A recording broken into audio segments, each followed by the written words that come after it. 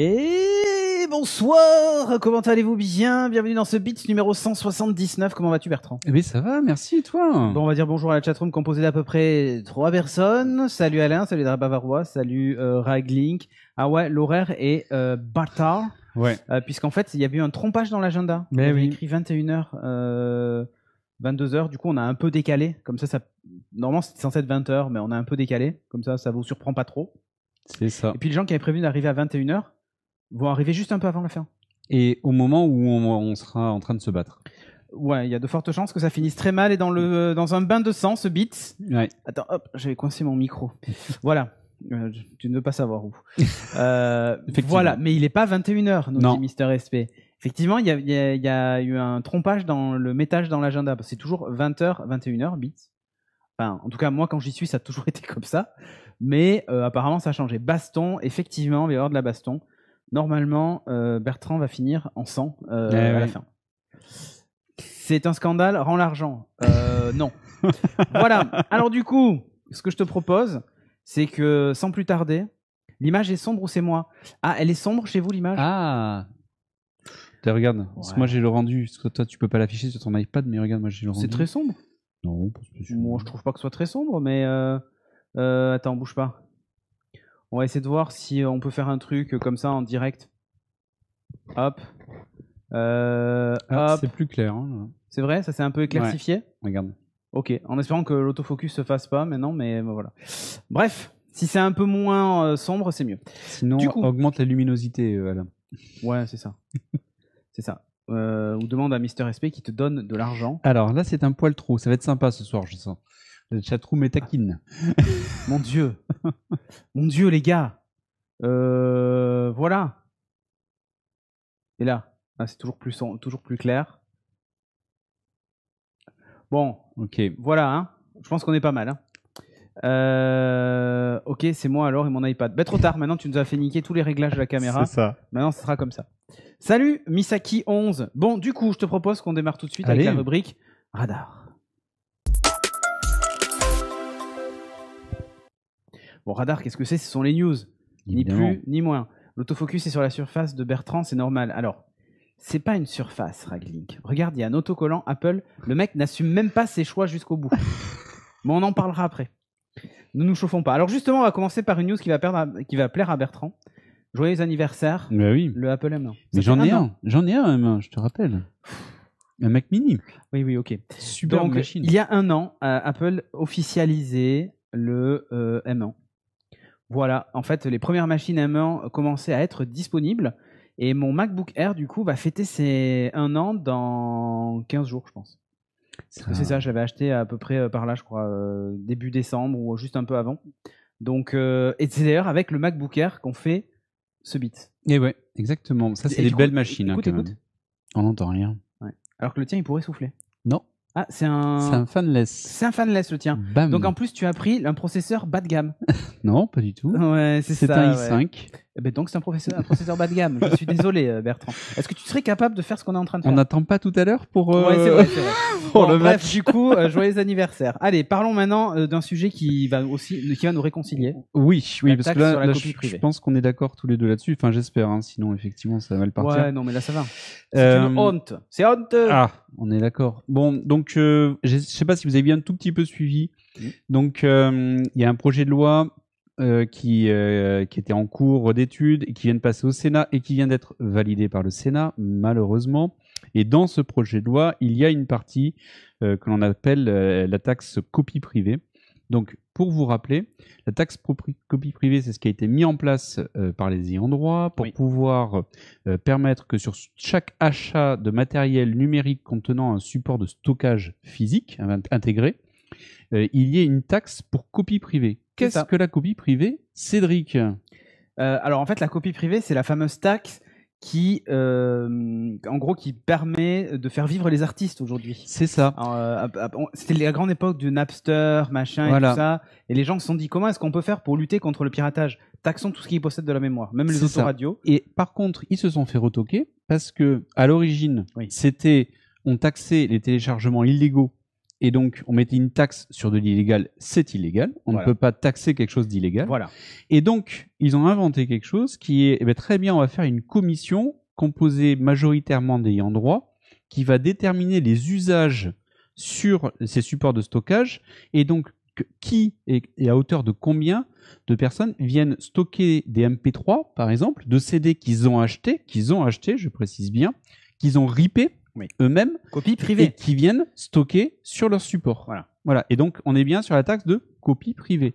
Ce qui est, de nos jours, pour moi, totalement aberrant. Oui, en fait, normalement, même pour tout te dire, le, la taxe sur la copie privée, tu devais posséder l'original pour pouvoir en faire une C'est copie. ça, C'était exactement. une- voilà, C'est vraiment c'est en fait, tu as, un- tu as un, un- un droit qui est de faire une copie d'une œuvre euh, que tu as achetée pour un usage privé, copie privée. Mais, euh, et tu le mets sur un support, donc par exemple, tu as, acheté un, un album, parce que tout le monde achète des albums CD, évidemment, Oui. et euh, tu viens le ripper via un lecteur CD que tu as chez toi, évidemment, tu as ça, toi et euh, plus personne n'a tout ça. Et euh, tu viens stocker ça sur ton téléphone et ça justifie Via iTunes.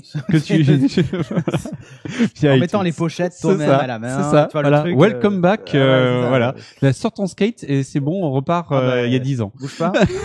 voilà, c'est bon. Sur le hoverboard, Marty. Donc, euh, et donc ça, c'est ce qui était déjà dans tous les achats de Mm. produits neufs. Et ils viennent de le mettre maintenant sur le reconditionné. Ça veut dire que tu vas payer une deuxième fois ta taxe pour des usages qui, pour moi, sont totalement dépassés, puisque maintenant on est tous sur du streaming euh, ou autre, où euh, les ayants droit sont déjà rémunérés. Exactement. Et donc, on va se retrouver avec ce tableau-là de barème, comme vous voyez, extrêmement Il simple, beau. il est magnifique. Et on a dedans, en fait, euh, tous les différents barèmes, et ça va dépendre, en fait, de la taille du stockage. Et on va pouvoir aller jusqu'à euh, facilement 8 euros de stockage, par exemple, euh, pour aller de Oh, 8 même 14, à, hein. à 16 gigas, 14 euros s'il y en a plus de 64 gigas. Le- Euh, Ah non, c'est le 9. Ouais, c'est ça. Et, euh, et donc, euh, dans la copie privée, on va 9,10 être sur les à PC et tablettes. 8,40€ par exemple, euh, avec le reconditionné.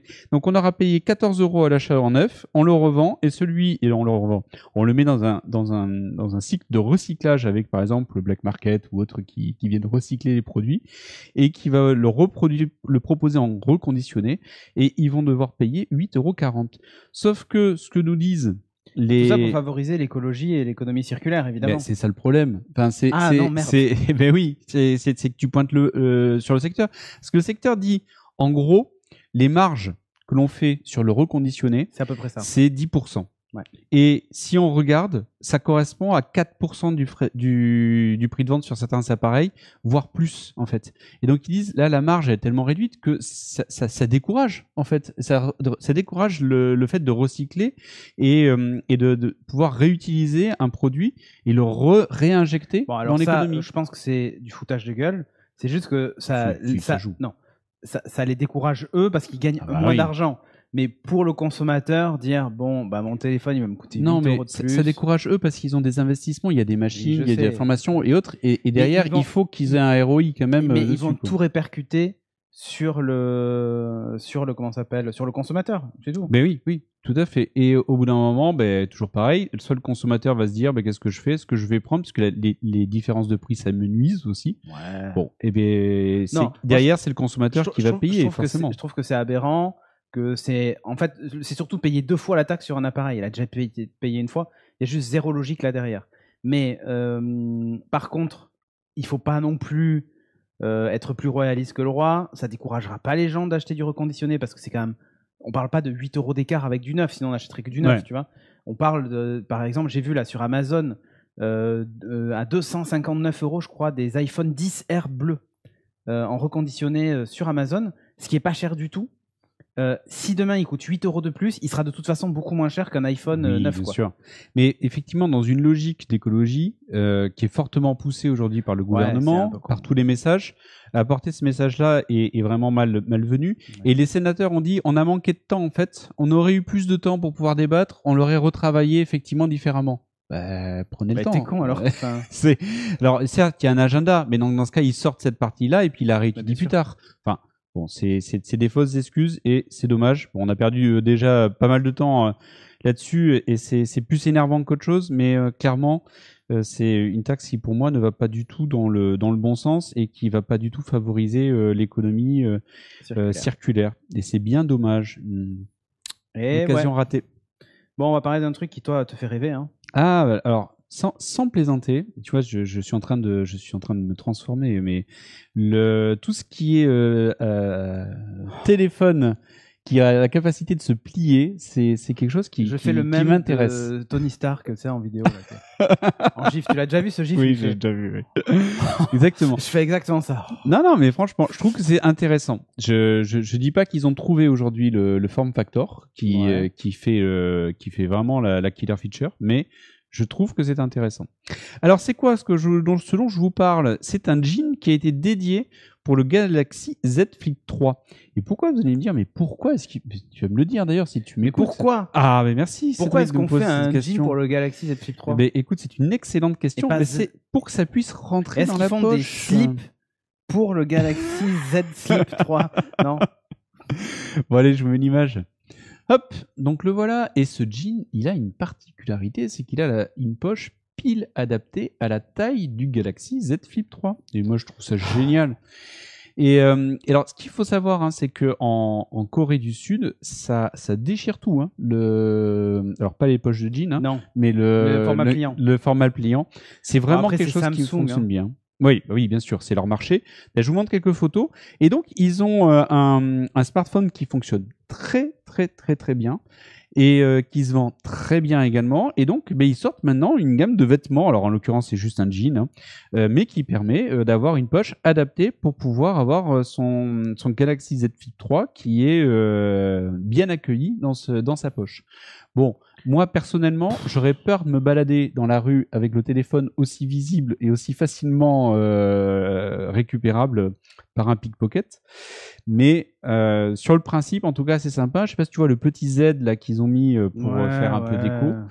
Zorro, Et- quoi. Et donc, ils te vendent le jean avec le Galaxy Z Flip 3 Ah, et le c'est tout. c'est un accessoire. quoi. voilà, c'est il est vendu avec et le tout pour la maudite somme de 1499 dollars. Jean plus téléphone. hein, pas Jean plus téléphone. hein. On peut acheter le téléphone séparément sans le jean? Oui, c'est possible. À 1499 non, ok, donc il, on est, il, est, il est moins cher, il est moins cher. Après, sur, sur des jeans, alors, comme vous voyez, il, est looké, enfin c'est fait pour. Les jeans, ça peut vite monter hein, en termes Ouais. de prix. Très honnêtement, euh, je vois beaucoup de retours des téléphones pliants qui finissent par vraiment céder. quoi. La promesse Ah. n'est pas du tout tenue. hein. D'accord, sur la fiabilité. Ouais. Mais des, de la, gamme 2, peut-être pas la gamme Non, 3 non, non, les, les derniers. Des derniers Oui. D'accord. Donc Ah. euh, moi, je suis encore euh, pas convaincu par la longévité de, de ces appareils. Après, clairement, Samsung, c'est eux qui produisent les dalles. hein. Donc, leur but, c'est de montrer, regardez les dalles qu'on produit et regardez un cas d'usage. Mm. Et euh, pour pouvoir vendre des dalles, hein. enfin, ça fait partie de leur business, hein, forcément. Là, actuellement, les gens qui achètent ce genre de téléphone sont, sont des gens qui achètent des nouveautés, ils vont pas le garder mille ans. Mm. Donc ils comptent sur le fait que les gens s'en séparent avant qu'ils cassent. Ouais. Mais c'est bête, mais il y, y a vraiment de ça. quoi. Bon, on va parler de Meta. Parce que ne m'appelez plus Facebook. Hein. Mais non, Meta, hein. c'est fini. Voilà. Le voilà, le petit Meta. Ah, mais pourquoi les, les incrustes, elles se mettent dans ce format? C'est très étrange. Avec hein. un peu le haut. Ouais. Ouais, c'est très étrange. Hein. Je sais pas ce qui s'est passé, euh, qui a touché à, à tout ça, mais bon, bref, Meta. Euh, Meta qui, d'ailleurs, on dit plus les GAFAM du coup. Et non, justement, ils Les se disaient, est-ce qu'il va falloir euh, rebaptiser Bah les oui. GAFAM? Ouais, les GAMAM. Ouais, les GAMAM. Les Gamma, si tu changes la place de Microsoft. Ah oui, G-A, 2-M-A. Ouais. Et ouais, mais Ouais, oui. Ça passe. Les Gamma. C'est parfait. Bon, euh, et d'ailleurs, on devrait pas. Non, mais même pas. En plus, c'est faux. Parce que c'est pas Google non plus, c'est Alphabet. C'est alphabet, tout à fait. Oh shit. C'est les, Les-. Non. Si. Ou les Mama. Ou. Oh bon, c'est trop compliqué. Ouais, il va y avoir des clips là. Les, les, les, Am- les Amama. Ça, ça passe. Ah, ouais. Amazon, Meta, Il Apple. y a Ragling qui nous propose les pas. AMAM. Les Hammam. Ouais, très bien.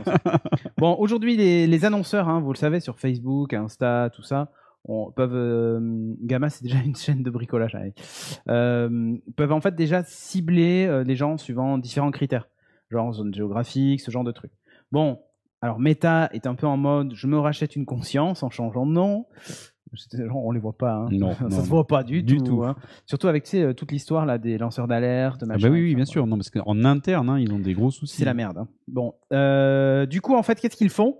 Pour la publicité, ils ont décidé d'abandonner quelques critères. Jusqu'à présent, voilà, ce que dit l'article d'ailleurs, c'est intéressant. On peut cibler les hommes de moins de 30 ans vivant près de Marseille et amateurs de la série Ted Lasso. Ça, c'est très précis. Possédant un chien, par exemple. Tu vois. Euh, ça, ça, c'est grâce aux critères donc mis à disposition par Meta, enfin par Facebook du coup. Euh, surtout ça. Bon, jusqu'à présent, on pouvait le faire même avec l'orientation sexuelle. Genre, je veux cibler que les homosexuels. Ah oui, d'accord. Genre, imaginons, je suis quelqu'un de bien intentionné, je veux lutter contre l'homosexualité. L'Église, par exemple, qui décide de faire la promotion de thérapie de conversion pour des gens qui, non mais je fais le cas extrême, tu vois. Euh, eh ben on va cibler évidemment que les homos ou les proches des homosexuels. Alors disant, si vous avez un homosexuel dans votre dans votre entourage, ne vous inquiétez pas, nous avons la solution. nous avons la solution. La solution, c'est une thérapie de conversion. Et on peut faire la pub sur Facebook en ciblant ces gens-là. Ça, ça, me, ça, me, surprend toujours qu'on puisse euh, comme ça cibler sur des critères aussi euh, personnels. Alors qu'en euh, France, tu n'as pas le droit de faire ce type de fichage. Pour ça. Mais là, ils peuvent. Parce qu'il suffit que tu appartiennes au groupe LGBT culture, mm. Etc. Ils peuvent savoir si tu as du diabète ou pas, en fait. bien sûr. Si tu participes à la journée mondiale du diabète ou ce genre de trucs. C'est assez dingue. Et alors, du coup, ils ont décidé d'arrêter de faire du ciblage publicitaire euh, sur l'orientation sexuelle, sur euh, la situation de santé des gens, typiquement euh, le diabète, etc. Et les orientations politiques aussi. Ah, effectivement. et j'ai oublié de le dire, la religion aussi. Voilà. Il faut rajouter ça dedans. Ils peuvent pas oh. cibler que les musulmans, que voilà. C'est-à-dire que tu vois, typiquement, Zemmour en campagne présidentielle, il veut cibler sur Facebook que les cathos et les juifs parce que bon, il aime pas trop trop les musulmans. Donc, eh ben, il peut. Tu vois? C'est vrai que c'est surprenant, mais encore une fois, c'est vrai que c'est tellement pas nous dans notre culture et dans le droit de pouvoir faire ça, euh, à juste titre, hein, euh, de pouvoir bah faire ce type de ciblage-là. Bon, ces nouvelles mesures, elles vont.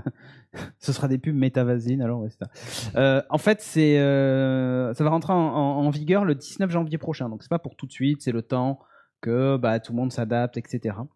on verra si ça change vraiment grand chose ou pas, parce que Facebook va pas rendre ce truc disponible, mais les administrateurs de page ou autres, ou les, les annonceurs tiers, tu sais, enfin, etc., pourraient peut-être eux faire du profilage de leur côté, etc. Enfin bref. Euh, c'est pour ça qu'en fait, toute la politique autour du no tracking euh, d'Apple et tout ça sert à ça en fait aussi, hein, à protéger ce type de ciblage bah euh, publicitaire qui pourrait donner droit à des dérives, comme par exemple influencer une élection euh, présidentielle euh, ou ce genre de truc. Tu non, voilà, ou pousser des gens à marcher sur le Capitole. Bref, donc euh, ce qu'ils expliquent, hein, citation de chez Meta, hein, nous avons entendu les inquiétudes de certains experts selon lesquels des options de ciblage comme celle-ci auraient amené à de mauvaises expériences pour des personnes issues de groupes sous-représentés. afin de rassurer les annonceurs qui souhaiteraient porter leur publicité vers les personnes plus à même d'être intéressées, Meta va cependant continuer à proposer certains critères personnels comme l'âge, le genre et la géolocalisation. Donc tu pourras cibler les hommes de 30 ans à Marseille, mais c'est tout. D'accord, ok. Voilà. Eh ben, Changement de politique. C'est beau. Euh, tiens, fais ta news Google, je vais euh, décaler la mienne. Comme ça. Euh, Très bien, ça marche. Donc sur Google, qu'est-ce qu'on voulait se dire au niveau de Google? Mais C'est que Google, en fait, ne fait pas que rajouter des fonctionnalités. Non. Mais ça lui arrive aussi d'en supprimer, et on va voir pourquoi.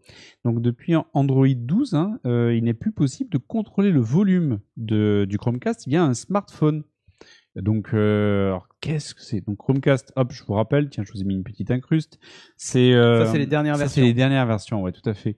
C'est des 4K et qui permettent comme ça d'être reliés à la prise HDMI et euh, de pouvoir euh, sortir en HDMI un flux vidéo proposé par Google avec toute une interface et que, toutes les applications Google pour la, la télé. Et ce qui était pratique, c'est que depuis le smartphone, puisque c'était le, concept, il n'y a pas forcément de télécommande. Et donc, depuis le smartphone, hop, je prends mon, mon smartphone et quand je contrôle le volume, mais ça contrôle le volume de la télé. Voilà, pratique, puisque c'était relié. Tout bête. Tout bête, tout simple. Et malheureusement, eh bien, c'est un problème juridique et ils sont en conflit entre euh, avec Sonos. Et il se trouve qu'ils sont en train de, de perdre le, le, le procès de, dessus sur cinq brevets. Euh, qui ont été a priori donc enfreints par Google sur les Nest Audio et les Chromecast. Et donc, euh, ben, une première victoire a été remportée euh, au mois d'août 2021. Et donc, depuis, ils font attention et ont supprimé cette fonctionnalité-là qui visiblement avait été brevetée par Sonos. Voilà. Et ça, c'est le cas typique de fonctionnalités qui disparaissent quand, euh, bah, suite à un procès, etc. C'est arrivé par le passé pour plein de, Ouais. plein de marques, hein, d'ailleurs. Alors c'est bien dommage parce que pour les utilisateurs, ben, effectivement, c'est une perte de fonctionnalité. Après, ben, c'est de la, de brevet. hein. propriété, hein. Voilà, donc euh, forcément. Exactement. Bon, je vais vous parler maintenant de Windows 11 SE. Est-ce que tu sais ce que c'est? Alors non, ça m'intéresse. SE comme Sans sans, sans edge. esprit. Sans Edge, sans. Non. C'est pour euh, les étudiants et l'école. Ah, C'est la d'accord. version éducation. Spéciale éducation, je pense que ça doit être ça. Je sais pas en fait. hein. ça ressemble à ça. Ah, tu fais le malin, mais tu sais pas en fait. Ça ressemble à ça. C'est-à-dire bah, Windows 11, quoi. D'accord. Alors, il y a quand même des détails qui devraient vous troubler. School Edition, ouais, c'est possible que ce soit ça. Euh, Il y a des détails qui devraient vous troubler. Euh, tu as installé Windows 11. Oui. Regarde les icônes en bas dans ta barre, il en manque un. Il est installé là présent. quel- non, mais quelle icône il manque? Non, non, dans le, dans le menu en bas. Ah, dans le menu en bas, il manque. dans tes, dans tes petits boutons que tu as en bas, tu as le bouton Ah, rechercher. euh, celui pour les, les fenêtres là? Vas-y, clique. Les dessus. widgets? Ouais, ouais, regarde. Est-ce que tu le vois là en face sur mon screen? Non, justement, ouais, c'est ce que, Voilà. c'est ce que je Il vois y est pas. ouais. Alors pourquoi il n'y a pas les widgets Euh, Parce qu'en fait, ça distrait les écoliers. voilà. D'après- explication de Microsoft. Hein. Ça serait une trop grande distra- dis- euh, distraction pour les, pour les écoliers. D'accord. donc voilà. Alors, c'est vraiment fait pour les. les- c'est censé remplacer les, les Chromebooks euh, dans les écoles, mais plutôt euh, école, euh, collège maximum. Tu vois, c'est pas pour les études supérieures. On le voit là, regarde la taille des petites mains qui tapotent sur cet ordinateur. Quel est cet ordinateur, Bertrand? Euh, C'est un Surface Book peut-être? Non, c'est un laptop SE, un Surface Laptop SE. Ah. Ils ont sorti un appareil dédié, euh, voilà, euh, Ah, tout simplement, dédié à l'éducation pour concurrencer les Chromebooks. Alors, 11,6 pouces, parce que bon, c'est pour, il faut pouvoir le transporter, hein, 4 Go de RAM. 4 Go de RAM. 64 Waouh. de stockage, une caméra HD 720p, bienvenue chez Apple, ainsi qu'une batterie tenant 16 heures quand même, hein, tu vois, pour D'accord. 250 dollars seulement. C'est pas cher du tout. Le, le package est intéressant niveau prix. 4 Go de RAM, ça me fait super peur. Eh ben non, parce que c'est une version allégée de Windows 11. Ah. En fait, tu peux installer que les applications du store avec certaines restrictions. Et pareil, de base, en fait, ils ont enlevé plein de services Windows qui servent aux entreprises ou autres, dont les écoliers ont certainement pas besoin. Euh, voilà. Alors, évidemment, Teams reste parfaitement intégré à la solution puisque c'est une application extrêmement légère. Euh, 4 Go de RAM suffisent largement pour Teams, hein, évidemment, pour le faire fonctionner. Euh, mais voilà, du coup, on se retrouve avec, bah, regardez, la- le pack Office. Je pense qu'effectivement, les écoliers vont beaucoup se servir euh, bah, de, One, de OneNote. euh, Évidemment. Non, mais OneNote, oui. hein, Pour la prise de notes, Pour la ça, prise de notes, c'est c'est pas même mal. très pratique. Et mais après, bon, ils ont Excel, PowerPoint. euh, ils vont pouvoir se former en fait à tous les outils euh, professionnels de chez, euh, de chez Microsoft. Ça va de soi. C'est comme Windows RT, le truc est mort au bout de deux ans. Bon, euh, je ne sais pas. En tout cas, ils y croient. J'y crois à mort. C'est ce que se sont dit. Euh, ils ont Minecraft, ça c'est cool. C'est Minecraft Éducation Edition, s'il te plaît, Raglink. Euh, ne nous emballons pas non plus. Euh, Minecraft tournant sur une Nintendo Switch, il doit pouvoir tourner sur ce type d'appareil. Ce qu'il faut noter aussi, c'est que Microsoft n'est pas le seul à sortir des appareils sous Windows 11 SE, puisque tous les partenaires OEM classiques, donc les HP, Samsung, etc., vont aussi sortir leur version. Samsung d'ailleurs a déjà annoncé le sien. Je ne l'ai pas mis en photo parce que ce pas les appareils qui nous concernent vraiment. Mais pareil, ça va être vendu entre 200 et 300 euros. Voilà, pour l'école. C'est mon premier ordinateur portable pour les enfants, en gros. Euh, et c'est euh, Microsoft qui s'y colle donc avec cet OS-là. Quelques petites fonctionnalités aussi euh, de, tu sais, de surveillance de leur Après, euh, stratégiquement, ils ont raison d'être Bah, sur le fait, ils marché sont pas parce sur ce que marché, ouais. voilà, il faut il faut continuer pour eux, hein, bien sûr, je me mets à leur place à, à faire en sorte d'avoir des relais de croissance et la jeunesse, c'est les acheteurs et les consommateurs de demain. hein, donc, euh, Aujourd'hui, c'est. s'ils euh, démarrent sur Windows, logiquement, ils continueront sur Windows derrière. sûr. Aujourd'hui, c'est à l'école, c'est ou Chromebook ou iPad, enfin, tu vois, Mm. ou tablette. Et du coup, bah, ils n'existent pas. Quoi. Voilou. Allez, tu vas nous parler un peu du The Event? Oui, alors on aurait plein de choses à raconter sur le The Event. Voilà. hein. Mais moi, je vais juste euh, faire un petit focus sur euh, quelque chose qui était peut-être un peu moins connu, euh, qui c'est que le The Event 2021 a été attaqué en DDoS. Eh non, je Et, euh, et donc, euh, et pourquoi on ne le sait pas? Parce que l'attaque, parce que l'infrastructure a tenu. En fait. Ah ben voilà. Et, euh, et donc, je voulais juste euh, en, en parler deux petits instants. C'est la filiale de, du groupe Iliad qui était chargée de s'occuper de la partie infra avec donc Jaguar Network. D'accord. Et euh, ils ont protégé le, le The Event pour la deuxième fois. Et euh, c'est eux qui s'étaient assurés de pouvoir se donner la, la connexion Internet et la stabilité de la connexion Internet. Ok. Donc, je vous mets une petite image du The Event au cas où vous l'auriez raté. Pour Voilà. rappel, hein, plus de 10 millions d'euros pour Action contre la faim. Et, euh, et pour le coup, ben, il y a eu 51 heures de streaming en continu. Forcément, ben, et tout étant basé sur euh, le, le streaming de jeu, si la connexion Internet tombe, l'incident, enfin l'incident, l'incident est majeur en fait, et pour le coup, l'événement euh, s'arrête. Donc c'était très important d'arriver à tenir ça. Vous allez me dire, mais comment est-ce qu'ils ont pu avoir une attaque en DDoS? Comment? Ah, bah, c'est- écoute, c'est- ça me fait plaisir que tu me poses la la bombe, question. donc, euh, voilà. C'est euh, en fait c'est un comme toujours hein, l'erreur est humaine et il y a un des streamers qui à un moment donné a streamé son écran et ils ont pu repérer l'adresse IP Oh shit. Euh, une des adresses IP qui était euh, réservée pour le The en interne en fait. Et donc euh, euh, cinq minutes après que c'était affiché, ça y est, l'attaque a commencé. Donc quelqu'un a envoyé et ils y sont pas allés mollo quand même, hein, puisque pendant près d'une heure, une heure, hein, ils ont envoyé 20 gigabits par seconde sur la connexion et sur l'adresse IP. Ah ouais. Donc tu vois, enfin 20 gigabits par seconde pendant une heure, c'est c'est pas une attaque euh, entre trois gars qui se sont dit tiens allez on, ouais, allons-y, quoi. on- on va faire une blague. Donc euh, donc c'est pas rien. Là, ça a tenu. Et ça a tenu bon. Au bout d'une heure, ben, ils se sont arrêtés hein, parce que ça s'est révélé infructueux. Jaguar Network a su encaisser et euh, le The Event a pu aller jusqu'au bout. Donc la bonne vieille attaque DDoS quand même, ben, elle reste toujours Ah, bah, hein, efficace. et elle est menace, efficace. surtout. Mais bon, mais voilà quand on voilà. sécurise Quand suffisamment euh, et que l'attaque reste maîtrisable, évident- évidemment, euh, eh bien, c'est toujours c'est possible quand même d'arriver à contrer et c'est une bonne chose, heureusement. C'est clair. Bon, Netflix qui lance un truc incroyable. Ça, ça a fait pchit quand même. Moi, ça me fait rire. C'est euh, effectivement euh, Netflix qui lance des jeux euh, gratuits. Alors, on va se dire, attention, parce qu'à un moment donné, on parler. jeux en ligne, hein. Voilà. Alors, alors, Cloud gaming. Non, hein. ah ben non, mais là c'est pas du cloud gaming, c'est pour ça. Et, euh, et justement, c'était l'offre qu'on attendait. On attendait, ben, comme en fait ce qu'on a avec l'abonnement qui est le Game Pass de d'Xbox, mais version Netflix. Eux, c'est du streaming, c'est du en ligne. Et là, non. Donc c'est Netflix se lance, avance petit à petit. J'espère en tout cas que c'est pour ça. Et propose sur Android pour l'instant. Non, c'est sorti sur iOS. Ah, ça y est, c'est Ouais. sorti aussi. Alors, moi, au moment de la news, c'était que sur Android. Euh, cinq jeux euh, qui étaient proposés et que tu dois récupérer et que sur lesquels tu vas exécuter depuis ton téléphone.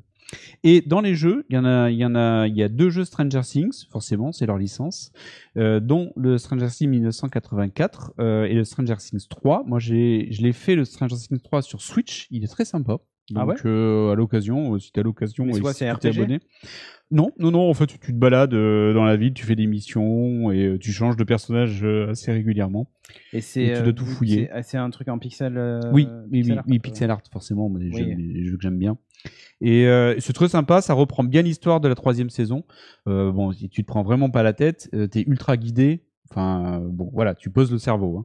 Euh, mais c'est sympa, ça se laisse jouer. Si vous avez bien aimé la troisième saison, euh, ça peut vous faire patienter en attendant la quatrième qui arrive bientôt. Yes. On Et il y a donc, images, ah bah voilà. tiens, ouais, vas-y, mets les images, t'as raison. Signale une erreur. Tu vois Et, euh, et donc, on a également donc Shooting Hoops, on a Card Blast et Teeter Up. Donc, euh, euh, c'est des, des- des petits jeux, hein, c'est vraiment des tout petits jeux euh, très très simples.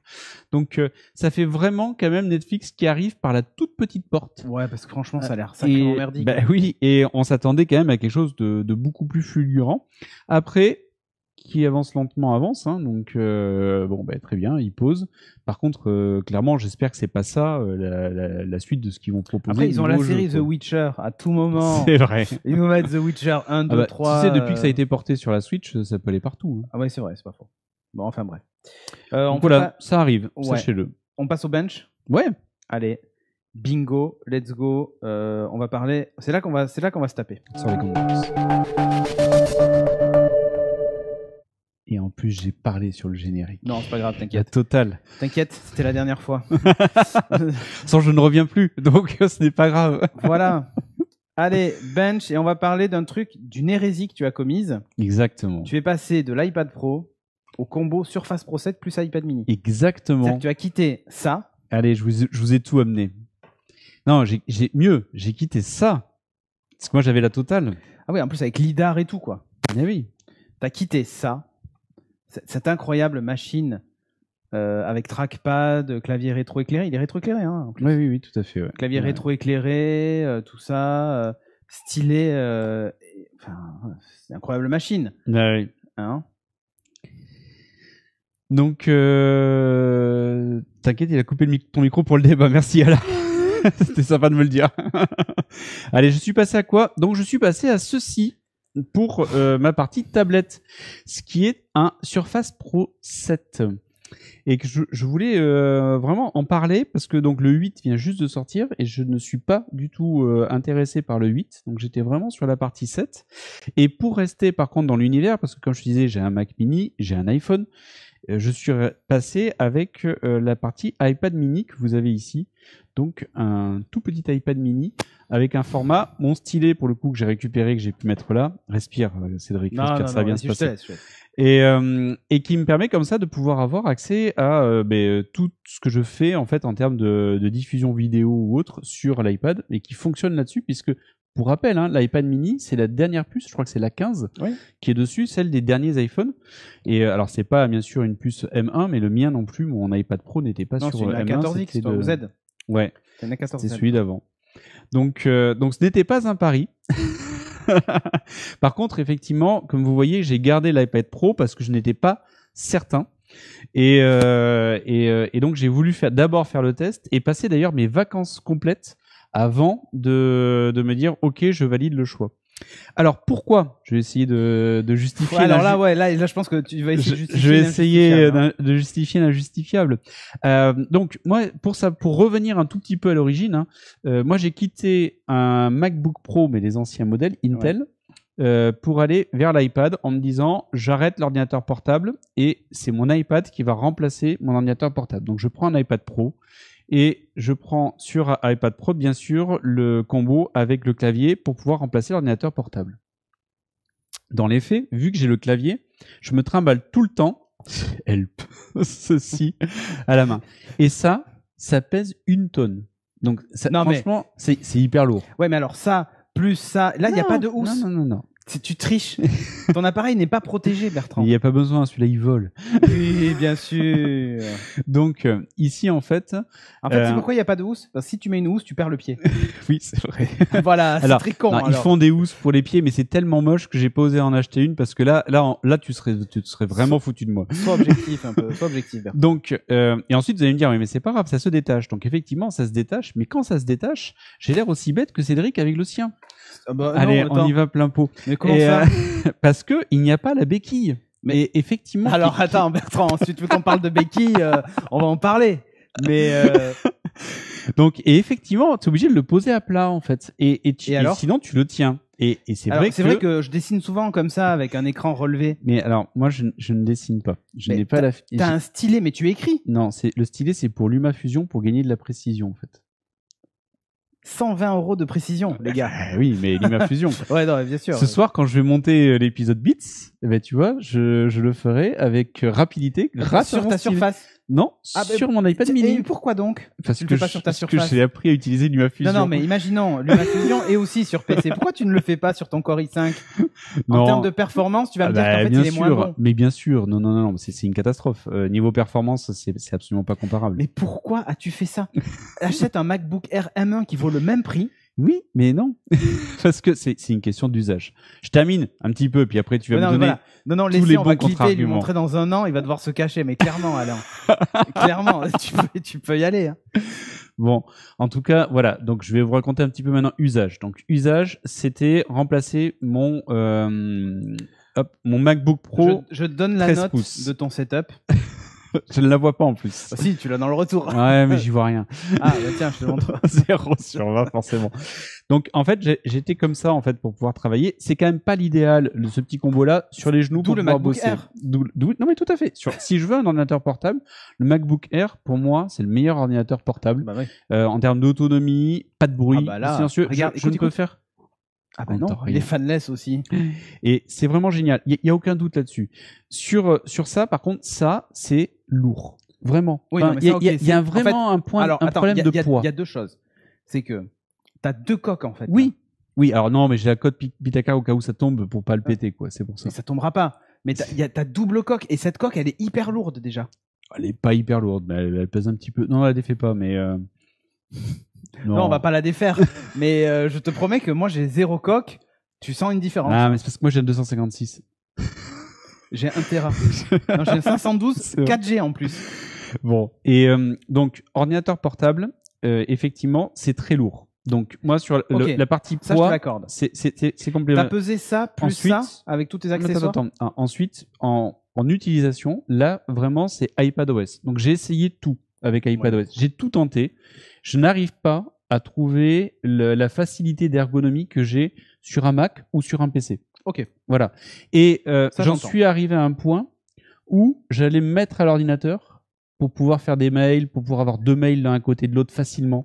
Ah, ça, Euh, avec iPadOS 15 quand même c'est plus pratique. je trouve. Ah, j'ai- enfin, j'ai- en fait, arrives pas. et en- T'as- Il y a une logique à réapprendre. Ouais. Et j'arrive pas à y passer. Et tu vois, et pourtant, et j'ai forcé, j'ai forcé parce que j'ai dit, je revends mon MacBook Pro Écoute, et, euh, et je me prends plus que ça. écoute, t'es un boomer euh, qui, Ok, qui a- boomer, qui a, euh, besoin c'est d'une normal. souris, je comprends. En fait, ce qu'il y a, c'est que pour que l'usage il soit facilité, il faut qu'il soit simple, il faut qu'il soit intuitif.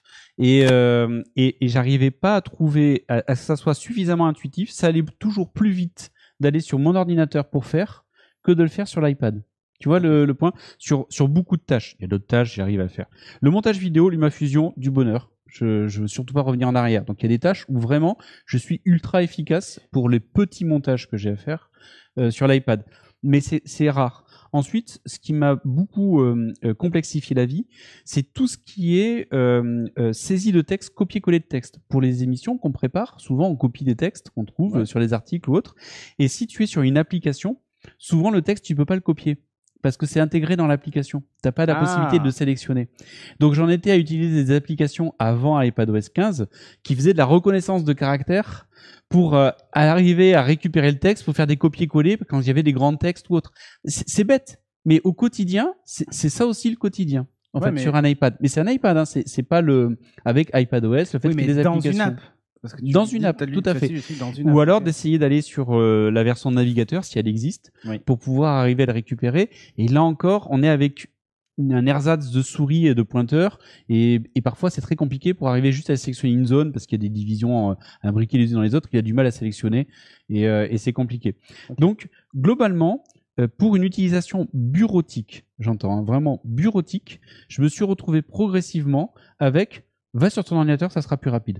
Va sur ton ordinateur, ça sera plus rapide en fait. Tu vois, j'a- j'arrivais pas à. C'est moi pendant un an, c'était mon ordinateur en mobilité principal. J'avais que ça avant d'avoir le MacBook euh, Mm. Air. Et euh, j'ai, j'ai- le seul défaut que j'y trouvais, c'est que je pouvais pas le mettre sur un écran externe et avoir un ratio d'écran 16 neuvième. Ça, c'est juste incompréhensible. Tu sais, de pouvoir utiliser un écran Ouais. secondaire. Euh, c'est le seul truc moi qui me qui me chauffe sur euh, sur ça pour en faire une machine principale. Mais je fais du montage photo, du montage vidéo, les vignettes de bits et tout ça, elles étaient faites sur iPad. Ouais, ouais. Enfin, j'ai fait toute ma saisie, tous mes mails, mes réunions Teams, tout là-dedans, avec deux fenêtres et tout, machin. Et ok, l'ergonomie est très différente du, du PC et du Mac. Et ça demande du temps pour, euh, la- pour l'apprendre. Enfin, quand je dis du temps, euh, c'est. Enfin, en gros, au début, il faut se faire un peu mal. Ouais. Et si tu passes pas cette étape-là, clairement, tu vas Ouais. sans arrêt te dire eh, j'ai une solution de facilité, c'est j'allume le PC. Ça, ça fait plus d'un plus d'un an hein, que j'y Oui, je suis, je donc sais. me suis laissé du temps. Et par contre, je, je te rejoins totalement. Encore une fois, la production de vidéo, LumaFusion, c'est génial. Moi, Ouais. ça suffit à 100% de mes besoins, pour mes besoins simples. hein. Euh, J'ai Affinity Photo, T'as une protection d'écran. là. c'est génial. Oui, euh, oui. Le mec, il a rajouté 2 kilos au truc et il dit Regarde le poids que ça fait. L'autre, il est nu. C'est bi- ah, effectivement, il est plus léger. Tu l'as pas lesté avec un kilo de. J'ai de j'ai pas béton. encore posé la protection. Et euh, j'ai Affinity Photo, c'est génial sur iPad. Bah oui. Pareil, je suis d'accord avec toi. Mais tout ce qui est compte, enfin euh, création de contenu, Ouais. c'est génial l'iPad. Mais c'est pas mon utilisation première. C'est Ouais, une ouais. de mes utilisations en fait. D'où le MacBook Air.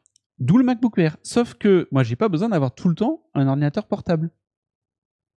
Euh, il faut un clavier et tout ça. Moi, quand je vais au lit, que je veux me regarder une petite vidéo, euh, des petites vidéos YouTube, Ouais, des replays l'iPad de mini. bits, d'où l'iPad mini. Mais je me suis dit, je vais pas prendre un iPad et un iPad mini. Enfin, ça, ça a pas de sens. Un MacBook Air, Voilà. un iPad mini. Mais par contre, par contre, détacher l'écran comme ça, c'était pas mal. Et ensuite est arrivée l'autre utilisation qui commençait à, à- à être compliquée pour moi, qui était les connecteurs. C'est-à-dire qu'en permanence, je me trimballais avec mon hub pour pouvoir mettre des cartes SD, pour pouvoir mettre des clés USB et, et autres. Et ça, Le MacBook Pro. ouais, on monte en gamme. Oui, mais là le poids, je ramène le poids. tu l'as vu le MacBook Pro en bas? Ah oui, oui, non mais il est Là, C'était magnifique. le 16, hein. mais Non, je non, t'ai pas c'était montré le le 16. 14. Non, non. Mais le 14. Et, euh, et là, typiquement, en fait, le, le, le peu de connectique ici avec juste Ouais, ce port USB-C euh, est, voilà. est quand même problématique. Et j'ai de plus en plus d'usage euh, sur les cartes SD, euh, bah, qui fait du rétro gaming par exemple, euh, avec les Recalbox, je mets des cartes SD dessus euh, pour pouvoir faire des transferts de fichiers, changer des BIOS ou autre.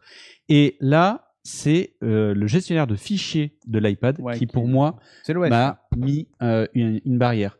J'attendais cette année la sortie pour voir est-ce qu'ils vont mettre euh, une évolution et mettre une frontière, tu vois, entre ouais. macOS et, et iPad et commencer à fusionner en fait. Mm. Et là, l'iPad Pro, je reviens dessus en courant.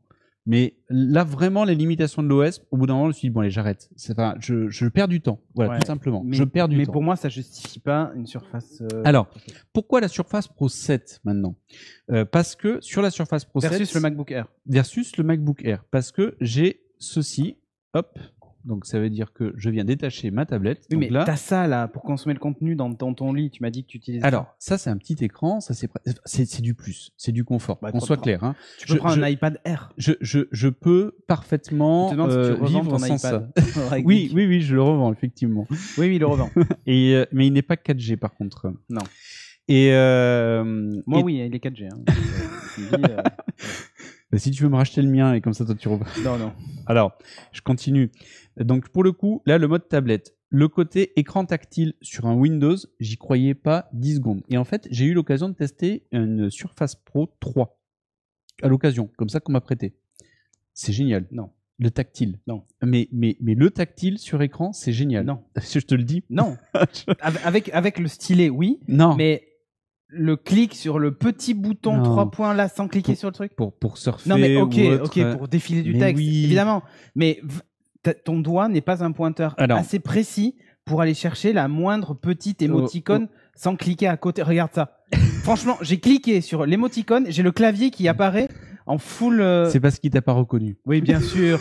Mais l'ergonomie, honnêtement, en termes d'expérience utilisateur, il n'y a pas plus chiasseux. Mais oui. Non, là, qu'on soit clair, on est sur du Windows. Alors, c'est là où Windows 11 a fini de me convaincre en me disant Ah, il y a un Windows qui sort et qui est quand même à- plus optimisé pour le 11, tactile. Là, c'est Windows 11. Ouais, ok. Donc, du coup, quand j'ai cliqué sur le bouton smiley, le mais clavier là, s'est tu es dans un navigateur et là, tu es Ouais, sous ok. Chrome. Et tu m'as demandé tout à l'heure Pourquoi tu utilises Chrome et pas Edge? Exactement, mais c'est une aberration. Et Mais- mais pourquoi? Parce que sous Chrome, tu as un module qui permet de récupérer tous tes mots de passe synchronisés avec iCloud. Or, Ah, ils moi, pas encore. Mais si l'extension, elle est pas compatible. Alors, Edge à- à- au moment où j'ai basculé et où j'ai fait tous mes tests et tout ça, ce n'était pas encore sorti. Si-. C'est peut-être sorti entre temps parce que moi, autrement, mon navigateur, et je revendique, c'est Firefox. Moi, j'adore Firefox. Le mec, quand même, rendez-vous compte. Il, il a pris, il a pris une Surface. Pro 7. Vas-y. Il a pris Google Chrome et pas Edge parce qu'il a besoin de synchroniser ses mots de passe oui. iOS. Alors que s'il avait pris un MacBook Air, c'était réglé. Eh oui. Il se posait aucune question, tout était synchronisé. Donc, et sauf que, comme je te disais, le côté tablette, et donc sur la Surface Pro 7, il y a un port USB-C, c'est le premier modèle euh, de Surface Pro 6 n'avait pas de port USB-C. Et sur le Surface Pro 7, tu as un port USB et tu as un lecteur de carte SD. C'est vrai. Et la grande erreur, je pense, mais après, euh, c'est pour mon cas d'usage, évidemment, c'est que le Surface Pro 8, tu, as maintenant deux ports USB-C, Mm. plus de ports USB et plus de carte SD. Ouais. Et ça, je trouve que c'est une énorme erreur. Ça veut dire que je reviens avec la même problématique de il me faut en permanence des Ah, adaptateurs euh, partout pour que, je, pour que je puisse mettre juste une pauvre carte SD. Quoi. Enfin, c'est, aberrant. Et, euh, et donc, c'est pour ça que je suis à la 7, même si l'écran de la 8 est un petit peu plus large. Et ben, donc là, on est sur du 12,3 de mémoire. Euh, et bien, tant pis. Je, je préférais prendre un 7 Alors, plutôt que de prendre un 8. Tout à l'heure, Mister Ouais. SP disait le i5 c'est plutôt du milieu de gamme, c'est le i3 le bas de gamme. Non. Le i9 est le haut de gamme, le i7 est le milieu de gamme, le i5 c'est le bas de gamme et le i3, c'est l'entrée de gamme. C'est vraiment le truc le moins cher, quoi. Donc euh, voilà. Mais bon, le i5 c'est correct, mais clairement, si tu fais du montage vidéo là-dessus, c'est la Non, cata. mais je ne veux Non, pas. mais je sais bien, je sais bien. Et rendez-vous compte, il y a plus de puissance là-dedans Ah bah oui. que là-dedans. Non, non, mais tout à fait. Euh, il te pose la question de combien ça coûte tout ça? Le, alors, le combo, ce qui se passe, c'est qu'il faut. Donc, moi, j'ai acheté ça d'occasion, le, la Surface Pro 7, et je vous encourage sur le bon coin.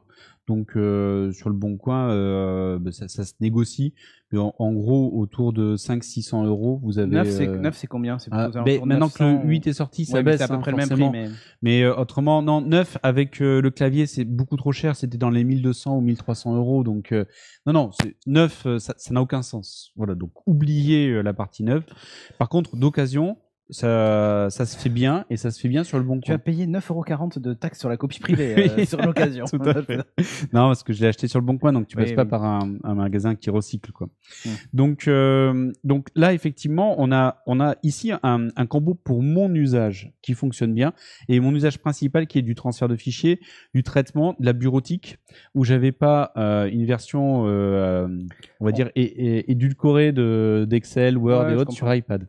On prend le pari aujourd'hui que avant le mois de juin, tu as changé. Mais très bien. Non, mais c'est possible. Je tente. Ah, il faut bien, non, mais il faut bien Tu sais tester. pourquoi Parce qu'en fait, il y a tellement de friction pour arriver à ce que tu penses être plus confortable pour toi qu'il y a un moment où tu vas te dire Attends, j'ai combien d'appareils en fait? Mm. J'ai le mini pour faire le montage vidéo et, et la consommation de médias et tout ça. Et, euh, et tu as celui-ci pour tes usages bureautiques, surfer, etc. Je pense que tu. En plus, tu vois, tu es obligé de passer par Chrome parce que du coup, ça synchronise pas avec ton Tout iOS. à fait. C'est un des points. Et hein. avec. euh, et je pense que malheureusement, et je dis ça parce que j'ai fait l'expérience moi-même. Je suis passé par Android, je suis passé par euh, Windows, etc. Et à la fin, le, la problématique, c'est vraiment le. Il y a trop de friction. Quand tu commences à vouloir faire rentrer un corps étranger dans un écosystème établi, Mhm. Eh ben, il y a trop de friction. Et euh, tu vois, moi, je suis au combo de. J'ai le MacBook Air et, euh, et, euh, l'iPad Pro. Je garde l'iPad Pro parce que bah, tant que j'ai droit aux mises à jour, pour le coup, je vais aller jusqu'au bout avec celui-ci. Le format mini me tentait bien, mais maintenant que je le vois en vrai, je trouve qu'il est trop petit. Ah, d'accord. Alors moi, ça, ça, je te dis ça au lit, c'est génial, par ça exemple. aussi au lit, c'est très bien. Et, euh, et mais moi, j'ai rien à compenser. euh, mais euh, hein, dire, donc, voilà. euh, Ma femme m'a dit au lit, vaut mieux que ce soit gros. Moi, du coup, j'ai pris un 13 pouces. donc pour le coup, en fait, sur celui-là, il est vraiment top. Euh, hop, avec ça, en plus, bon, mais t'as le, t'as le petit pied pour pouvoir le, le. Raglink le dit aussi, la taille, ça compte au lit, hein, franchement. Voilà, donc on, on peut le poser comme ça, c'est hyper pratique. J'ai la même chose. Ouais, la, la, la, la, la- la taille est vraiment euh, Ah, idéale. contre, tu et prends à chaque fois des coques qui entourent complètement. Ouais, parce que Ah, moi. mon but, c'est de le revendre derrière en excellent état. Ouais, mais moi aussi, il est en excellent état. Alors moi, le mien, il est tordu. Tu sais, il fait partie de ceux qui avaient la maladie. Ah, ah, mais Tu- si tu le regardes là, c'est comme un, ça, c'est pliant. voilà, Ah oui, légèrement. Regarde, Ah oui. là, je Ah le ouais. redresse. Ah oui, Bah, en fait, il était arrivé comme ça, et en fait, je m'en fous. Et euh, ce que tiens, je te montre ça et euh, Oui, pour la oui. pour la, la lecture Ouais, de je l'ai aussi sur mon iPad. oui, je me doute, mais tu regardes le, le format pour la lecture et tu verras que c'est top. Bon là pour l'instant ça affiche rien, mais euh, Là, c'est pas connecté. ah oui, oui, si c'est pour ça, ouais, j'ai pas la, ça y est, Voilà. voilà. Et, et tu vois le, c'est Ouais. c'est hyper agréable pour pouvoir lire. Et j'avais peur de ça, hein. ça faisait partie de mes Moi, points. tu sais, le gros en me avantage, disant- c'est que je peux lire et en même temps avoir un truc à côté, ou en lire deux en même temps. Ah oui, c'est vrai que t'as deux yeux, toi, c'est Bah oui. c'est pratique. C'est Moi, vachement je sais pas me pratique. servir des deux, c'est pas Non, mais vraiment. tu vois, je peux avoir mais, le euh, player vidéo d'un côté et euh, la- le truc là et lire mon article et de temps en temps jeter un œil sur un stream, par Ouais. exemple. Tout à fait. Voilà. Mais euh, le, donc le format en, en, en petite liseuse est pratique et pour le coup là le poids compte euh, pour le lit quand tu lis ou autre Ouais, c'est quand même ouais. super agréable. Après, c'est pas honnêtement. Enfin, moi, je- c'est vrai que je l'utilise nu euh, Ouais. au lit. Euh, mais euh, toi, tu fais. on les aura Toi, t'es, toi, t'es du genre à bon. surprotéger, je comprends. Hein. Euh, moi, j'utilise nu. Euh, pour le coup, c'est tellement. euh, Enfin, c'est pas si lourd que ça, quoi. Tu vois. Même, même pour un 13 pouces, c'est pas si lourd que ça. C'est, c'est pas plus lourd qu'un livre ou un magazine, tu vois, un petit peu plus. Mais Ah, si si. Ça dépend des Ah, livres ah, que tu si, lis. non, mais si tu lis le bottin au lit. euh, Exactement. Quand tu lis Le Seigneur des Anneaux en un seul tome, je te jure que c'est bon. un truc, c'est une brique. C'est hein, bon, euh, effectivement. voilà, mais euh, non, honnêtement, je l'utilise jamais au lit, mais euh, j'utilise mon téléphone, tu vois. Ah oui. Alors justement, mais ça faisait partie des points, tu vois, exactement. Et c'est ce que je me suis remarqué, c'est qu'au bout d'un moment, j'ai arrêté d'utiliser mon iPad au lit pour utiliser que mon téléphone. Or, j'avais pas pris un max exprès, j'avais pris un, un, Oui. un- un taille normal et j'étais limité par la taille de l'écran qui est quand même petite pour des usages multimédia au lit. Et là, ça c'est génial. Vraiment, c'est c'est enfin l'iPad mini pour moi, c'est vraiment au top quoi. Alors, Je vous le On, recommande. verra, on hein. verra dans quelques mois. Bah, c'est vrai que toi, tu fais du montage vidéo dessus, donc du coup, euh, Ouais. forcément, tu peux pas le faire sur Et ça tu peux le faire fonctionne sur très, iPhone, très mais, bien, mais tu peux le faire là. Ah, c'est vrai qu'il y a Touch ID. euh, oh, Eh putain, oui. oh, putain, la largeur du bouton, quoi. Ouais. Euh, Théma, la taille du bouton, le truc qui fait la largeur du truc, quoi. Euh, moi, euh, enfin, d'expérience, tu sais, quand j'étais passé sur la Nexus 7, j'avais en même temps, euh, je sais plus quel téléphone j'avais, mais qui faisait 6, euh, 6 pouces ou un truc comme ça, et là, on est sur du, enfin, Nexus 7, on était sur du 7 pouces, comme son nom l'indique. Eh bien, la différence de taille entre l'écran du téléphone et l'écran de la tablette euh, était pas suffis- Ah, suffisamment, ok. euh, euh, justifiait pas le fait que j'utilise la tablette. Et au bout d'un moment, j'ai abandonné la tablette. Ouais, c'est pour ça que je te montrais les exemples de lecture. Moi, je lis pas mal de magazines euh, sur, euh, sur tablette. Avant, je lisais là-dessus et ça me fatiguait. En fait, Ah, mais attends, mais normal, le tien, il y a Et- 12 protections, un truc en verre trempé Et là-dessus, de par 12 kilos. contre, là, j'ai vraiment un super confort de, de lecture que j'ai pas du tout sur le téléphone. oui, bien Encore sûr. une fois, c'est beaucoup hein, lié aux usages. hein. donc, je suis pas en train de vous dire euh, revendez vos iPads, euh, la Ah non, solution du iPad tout. mini et ça. Je, je dis vraiment pour des usages. L'autre point, et tu as raison, et je vais pouvoir répondre comme ça à la, à la chatroom hein, qui, qui est en PLS, c'est- que euh, effectivement, j'ai un Mac mini donc à la maison, et j'avais Mac mini, iPad, iPhone, le rêve. La, en mode continuité, en fait, entre les trois. Sauf qu'au milieu de ça, moi, je suis euh, un gamer sur ordi, même si j'ai console. Oui, moi j'ai un PC aussi. Et donc j'ai un PC. Et avec le temps, le PC prend plus de place parce que j'ai ma carte RTX, elle est sur le PC. Et quand maintenant je fais de l'OBS et c'est sur le PC pour avoir le RTX, pour couper le son, pour flouter, pour machin, voilà, ça fait partie des points. Et j'ai un Shadow qui est bien pratique pour que je puisse euh, faire travailler à distance, intégrer à distance, jouer aussi à distance toi. sur le cloud. Et c'était moi le, toi le le- dernier le compte, utilisateur ouais, Shadow. voilà. ouais, c'est ça. Et, euh, et pareil, donc j'ai un Windows, donc j'ai un OneDrive pour pouvoir synchroniser. Et donc, je me suis rendu compte qu'avec le OneDrive, il y a eu quand même des gros efforts de Windows Mais moi j'ai OneDrive aussi. et, qui me permettent de synchroniser. Et donc, quand je suis sur mon ordinateur portable, mon gros portable qui est un transportable, c'est un 15 Oui. pouces qui pèse euh, 3 kilos. Et quand je suis sur euh, euh, mon Shadow, j'ai exactement les mêmes choses, les mêmes documents, tout est euh, lié. Et tu l'as installé, bien sûr, sur, euh, sur OS, ce que j'ai fait aussi. j'ai même, moi j'ai deux comptes Epitech, donc j'ai même deux Hmm. OneDrive en fait. Il faudra que tu me montres comment on fait ça. Et, euh, et l'autre point, c'est que pour le coup, Il faut avoir un MacBook pour ça. Ah. je déconne. Et l'autre point, en fait, c'est que pour le coup, ben, quand je suis arrivé avec ma tablette, ma tablette, je l'ai mise, j'ai mis en OneDrive, et boum, tout est remonté, en fait. Et j'ai la même chose, et donc je peux, et j'ai l'effet continuité, dire que je peux commencer un document sur ma tablette, le terminer sur mon Non, mais évidemment, ordinateur, évidemment. sur mon Shadow, et ainsi de suite. Et en fait, euh, en fait, soit- j'avais pas fait une scission complète en disant j'abandonne Windows, je n'ai plus que le Oui. monde Apple, et donc je ne fais plus que du Apple. Et là, dans ce cas, ça serait effectivement une hérésie de se dire qu'est-ce qu'on vient réintroduire en Windows au Non, mais milieu? moi aussi, j'ai un PC, celui avec lequel je stream euh, chez moi. J'ai aussi, euh, j'ai même iCloud Drive installé dessus pour faire la synchronisation avec mon MacBook, avec mon iPad, avec mon téléphone. Donc quand je fais une modif d'un dock, etc., euh, ça le fait, euh, ça le fait euh, partout. Mais si tu veux, ça m'est pas venu à l'idée de me dire bon, comme j'ai un PC à la maison que j'utilise pour jouer, c'est là où j'ai les RTX, c'est là où c'est celui avec lequel je stream, etc. En fait, je me suis rendu compte que je pouvais même synchroniser mes collections OBS entre les deux grâce à OneDrive. C'est ce que je fais là. Euh, Beats, en fait, il vient de mon PC euh, Ah, chez moi. mais- Et si je modifie un générique, ça le modifie ici. Et, et du coup, le support m'importe peu. Je peux être sous Mac ou sous PC. Je retrouve la même chose. Et en plus, avec l'extension euh, pour les, les mots de passe, Exactement. de toute façon, je Ça, les ai aussi. top. voilà. hein. De toute façon, je les ai aussi sur le PC.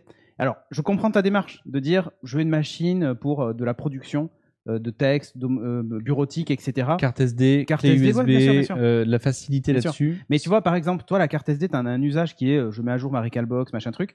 Moi, ma carte SD, je l'ai pour, bah, je récupère les rushs de mes vidéos Ouais. et donc c'est sur mon Oui, iPad que je fais plus le montage. voilà. Ouais, tout à C'est- fait. ça dépend de l'usage de chacun. Mais moi, je mets un warning aujourd'hui, quand même, sur le, le fait que même si les écosystèmes se veulent de plus en plus ouverts, il y a toujours des petites frictions euh, introduites volontairement par Apple, volontairement par Microsoft, volontairement par Google, pour faire en sorte qu'ils privilégient plutôt un écosystème complet qu'un écosystème hybride, en fait. Quoi qu'il arrive, en fait. Et euh, là, tu vas voir, tu vas te dire, ah, c'est dommage, quand même, pouvoir euh, dupliquer l'écran de mon téléphone sur Windows 11, comme ils font les gens avec Android, c'est cool. Du coup, tu vas dire, bah, prochaine étape, Ouais, un non, Pixel tout à fait. 6. Tu vas acheter un Pixel 6 et à la fin, tu vas dire, ah ouais, mais ma domotique, elle est en HomeKit, du coup, il faut que je change tout mon écosystème. Enfin, je suis passé par là. Et l'expérience me fait dire que à partir du moment où tu commences à avoir des ch- le- un, un pied dans chacun des univers, ouais. bah, ça tourne mal. Je- non mais je te comprends. Et tu vois je me suis posé la question de la partie Android. Bon là quand même j'ai mes limites hein, Oui. donc euh, je- j'ai arrêté les conneries quand même. Donc on ne va pas aller jusque là mais euh, euh, typiquement les, les, les smartphones pliants à un moment donné je me suis posé la question de me dire au lieu de prendre un iPad mini est-ce que je prends pas un Fold? Et là, tu aurais fait une grave erreur. et, et, et j'ai- j'en ai, testé un. J'ai vu la bête. Je me suis dit c'est beau mais ça ça peut pas remplacer ça et ça peut pas remplacer mon iPhone Voilà. Non. Alors, avec Android 12L, peut-être que ça viendra, Hmm. parce qu'ils ont fait une grosse pas mise à jour encore euh, dessus. suffisamment optimisé. pas suffisamment Et la optimisé, il y taille plein d'écran est intéressante, mais pas encore assez grande pour un vrai usage euh, tablette. Voilà. C'est ça. Et en plus, le, le ratio d'écran est un peu. Et oui, enfin, le ratio est vraiment particulier. Mais fran- franchement, c'est beau. Enfin, c'est Ah oui, bien fait. Et, et, et je me dis, s'ils arrivent à le pousser, il y a un beau potentiel Ah, mais clairement. Euh, à travailler là-dessus.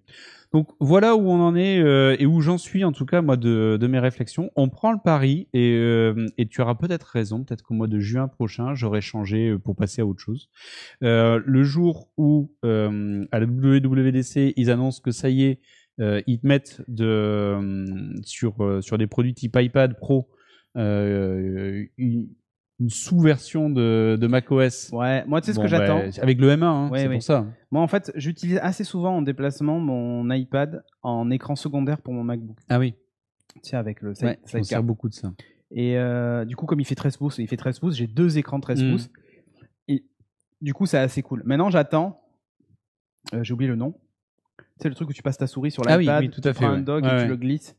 Qui a été jour- présenté. euh, Quand ça, ça va être disponible, Ouais. ça va juste tout changer. Mm. C'est-à-dire que je peux prendre une image, déjà je suis en train de naviguer, je dis ah putain ce truc est intéressant, je suis sur mon MacBook à côté, je prends la souris, je récupère l'article en le sélectionnant ou je clique sur la photo, je la déplace sur mon Mac, je la récupère, je la mets dans la régie, ou l'inverse, je surfe sur mon, sur mon iPad et euh, je veux transférer, je fais le copier-coller sur mon iPad, sur mon MacBook, et je peux le coller ici directement, et ainsi de suite. Ouais. Parce que ça, tu as perdu le copier-coller entre ton appareil Tout à fait. euh, et euh, ton. Ça c'est ton perdu. truc. Donc voilà. comment je fais aujourd'hui? C'est via Oui, euh, iCloud Note, Ouais. Note en fait, euh, et c'est les notes note d'iCloud qui, fais- voilà. qui me permettent de faire la, la synchro. Voilà. Là, là le, principe, c'est que là, si je fais copier ouais. sur un truc, je prends mon téléphone, je clique sur le chat, je fais coller et ça y est, quoi. Mais, mais clairement, parce que Apple a un petit peu ouvert via iCloud, Ouais. ça m'a ça m'a permis de faciliter la transition. Oui, oui. Comme tu dis, ils ajoutent des points de friction et ils en ont aussi ouvert un petit peu, et notamment les mots de passe, parce que moi, mon trousseau de mots de passe, c'est iCloud. Donc Oui. euh,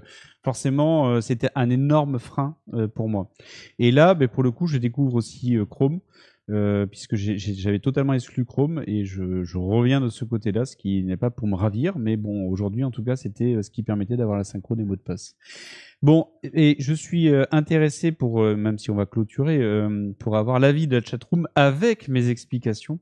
Est-ce que vous comprenez un petit peu mieux ce choix qui peut apparaître comme étant une hérésie? Il appelle, euh, la- il appelle à l'aide. S'il vous plaît. S'il vous plaît, aidez-moi. Help. non, non, mais après, je, je peux comprendre, mais euh, voilà, pour avoir traversé cette phase-là, Hmm. d'être dans un écosystème partagé, euh, j'ai même eu une Surface Pro en ordinateur principal pendant Ah oui. longtemps. D'accord. Euh, je rentrais chez moi, je, je branchais la Surface Pro. C'était une i7 à l'époque.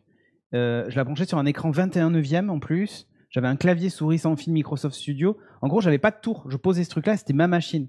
Et en fait, au bout d'un moment, je me suis rendu compte qu'avec mon téléphone, ben, les synchros étaient pas OK. Enfin, qu'il y avait plein de trucs qui, in fine, m'ont fait dire euh, non, en fait, ce setup est pas, euh, est pas le setup ultime. Je dois avoir des photos d'ailleurs quelque part dans, dans mon, dans mon téléphone.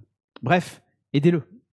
sur ce, je te propose qu'on ne traîne pas trop et qu'on Ouais. passe tout de suite sur la partie apps. C'est parti.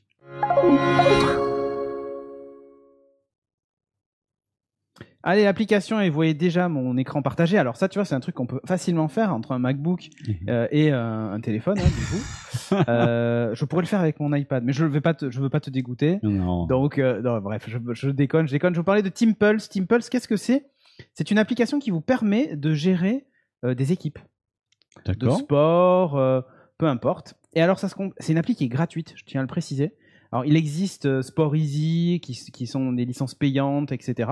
Et là, le principe, c'est qu'en gros, vous créez votre compte Timpulse. Et euh, ici, en cliquant sur la petite euh, équipe en haut, je peux créer une équipe, rejoindre une équipe, etc. Donc là, j'ai par exemple créé le groupe qui s'appelle Lightning Bordeaux eSport, qui est l'équipe eSport de Epitech, dont vous avez vu le logo et j'ai le magnifique t-shirt. Oui. Euh, et là, vous voyez qu'en fait, dès que vous arrivez, le premier truc que vous voyez, c'est le vestiaire. Le vestiaire, c'est l'endroit où on partage euh, bah, des informations. Donc là, je vois qu'il y a un match contre des joueurs européens mis par Tom Cousin. Des gens peuvent réagir euh, ou pas, tu vois. Votre avis compte pour nous. Euh, non, on s'en fout. Euh, non, annulé. Donc voilà, là, je suis content. Là, je suis pas content. On peut choisir et on peut laisser des commentaires. Et ça, c'est un mur. En gros, le vestiaire, c'est l'endroit où tout le monde bien discuter. Merci pour le sub Bertrand. Et on a aussi le nombre de personnes qui l'ont vu, donc vu par 28 personnes sur les 29.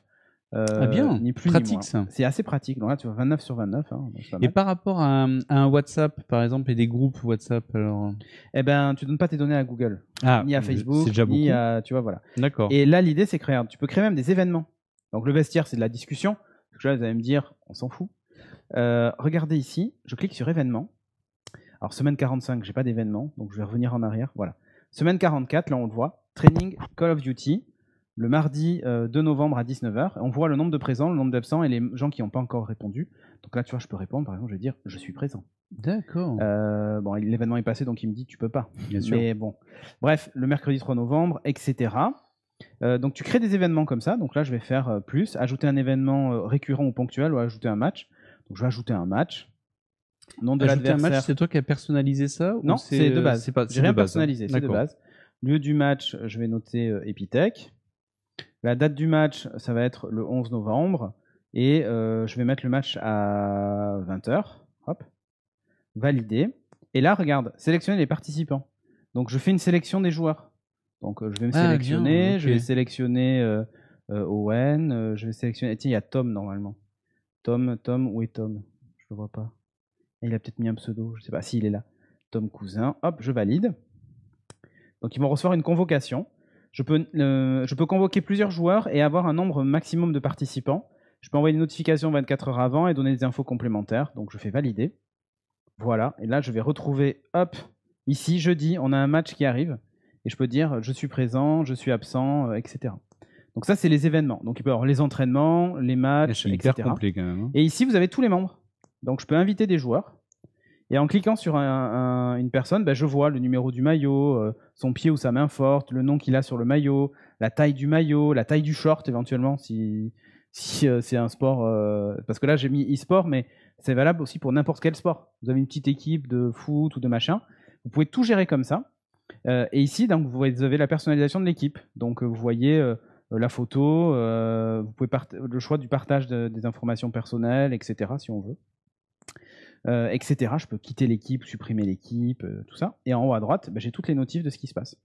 Je vois, il y a un événement qui a été modifié, il y a Nicolas qui a rejoint, euh, qui souhaite rejoindre l'équipe parce qu'en fait on lui a envoyé le code et donc c'est à nous de le valider dans les admins. Voilà. Donc c'est ultra complet. Si vous gérez un- Ah, une top. petite équipe Ouais, non, de sport, pratique, plutôt que hein. de passer par des groupes WhatsApp, des machins, des trucs, c'est français. Ah bien. Et c'est gratuit. Alors, c'est gratuit, oui et non. C'est-à-dire que Attention. c'est gratuit, mais en fait, c'est un équipementier de sport. Donc, il y a un petit bouton shop en bas, et vous pouvez, si vous voulez, euh, commander des maillots chez eux. En gros, c'est la- l'appli qui leur sert aussi de pub. Euh, donc là, il, te- bon, il y a quelques exemples de maillots, hein, tu vois, mais tu peux faire 100% personnalisé, ça coûte 22 euros le maillot, donc c'est-à-dire à peu près rien. Euh, et un bouton contactez-les bah, si vous voulez commander des maillots, c'est tout. C'est en fait la seule pub qu'il y a dans C'est l'app. bien, c'est propre. Voilà. Et en cliquant en haut sur le logo avec mon nom, je peux ajouter un compte différent. Parce que là, tu vois, j'ai le mien, mais euh, je peux très bien avoir un compte différent. D'accord. Euh, et c'est pareil, si je clique sur le logo de l'équipe, je peux avoir plusieurs équipes.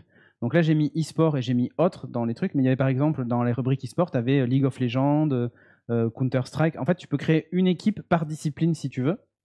Mais ça peut te mettre le handball euh, senior, le handball euh, mini-hand, le handball euh, moins de 15, etc. Vous pouvez euh, tout gérer comme ça dans l'application avec vos événements et tout. Enfin, c'est juste magique. Et là, tout ce que j'ai fait, tous les membres ont reçu la notif. Voilà. Donc, euh, C'est vraiment, enfin, c'est ultra optimisé pour ça. Exactement. Et, euh, et quand même assez souple Tu vois, pour pouvoir gérer d'autres choses en même temps. quand tu cliques sur les trois petits points du match, ben, tu peux envoyer une notification Envoyer- ah si j'appuie là, ils le reçoivent euh, tous le truc. faire des amis, mais Non, mais tous ceux que j'ai convoqués. C'est-à-dire Ah oui. Tom, moi et je sais plus qui d'autre. Voilà, je vais supprimer le match. Hop. Voilà. Donc, ça s'appelle Team Pulse et c'est juste une Non, application. ça, ça a l'air assez, sympathique. euh, assez extra. Voilà. Euh, je vais vous remettre d'ailleurs le nom ici en bas. Hop, comme ça vous le voyez. Et on a terminé Ben oui, pour ça y est. le Et je suis encore en vie. soir. Et tu es encore en vie. Parce que j'ai. Remarquable. Ouais, ouais. Après, je me suis dit, le pauvre. euh, Il comprend pas ce qu'il fait. Voilà, ça a l'air vraiment bien fait. C'est vraiment bien fait d'Air Bavarois. Cette app, elle est, elle est vraiment cool. Quoi. Bon, pour nous retrouver, bah, à Cédric de Lucas, alors c'est pas comme ça. Euh, on y est presque. Ouais, parce qu'en fait, il n'y a pas d'accent déjà sur. euh, Non, mais c'est pas grave, t'inquiète pas. hein. Ouais, non, Pas de panique. Euh, Ah, mais j'ai pas édité. Si? Tu veux que je le fasse parce que sous Windows, c'est hyper rapide à faire. Ouais, oui, bien sûr. non, mais en fait, j'avais pas cliqué sur le bon bouton, c'est tout. Euh, Mais oui. At Cédric, c'est le chiffre 2. Ah, Tu vois, il y a une feinte. Hop, mettre à jour. Voilà. Cédric de Lucas sur Twitter et Bertrand Inov pour toi. Si vous voulez nous envoyer des messages d'insultes, vous pouvez évidemment euh, euh, nous suivre sur les réseaux sociaux. Euh, ça nous fera grandement plaisir. Tu penses au bus? Quel bus? Superbus Desert Bus Superbus, c'est un groupe de musique Oui, c'est Desert Bus. euh, qui chante Butterfly, Butterfly. c'est vrai. Non, d'abord, je parle sur renegade.fr. Si vous voulez savoir un petit peu ce qu'on fait, les différentes émissions, tout ça. Notez une excellente émission le lundi matin de 8h à 9h30. C'est le Excellente. Before War. Vous, vous, vous verrez un ici, décor d'ailleurs. qui vous dira quelque Qui vous chose. dira quelque chose. qui est tourné ici et même sur les chaises à côté.